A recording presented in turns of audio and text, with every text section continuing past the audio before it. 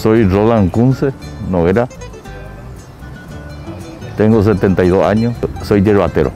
Y hace pocos días que me operé de la vesícula.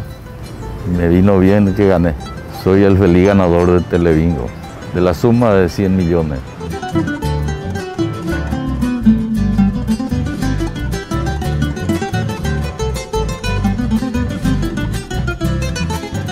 Y resulta ser que un día domingo me fui a la casa de prima mía y le dije, voy a ir un ratito a comprar un bingo. Me dijo, ¿para qué vas a gastar algo si yo ya compré el que va a tener premio?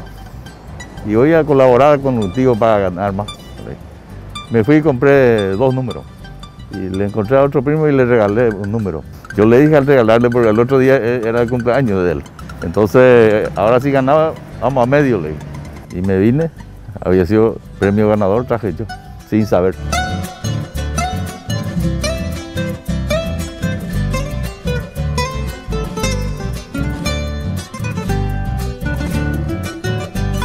A la gente que quiere jugar, le aconsejo que juegue. Y si no quiere jugar, que juegue nomás también para probar la suerte.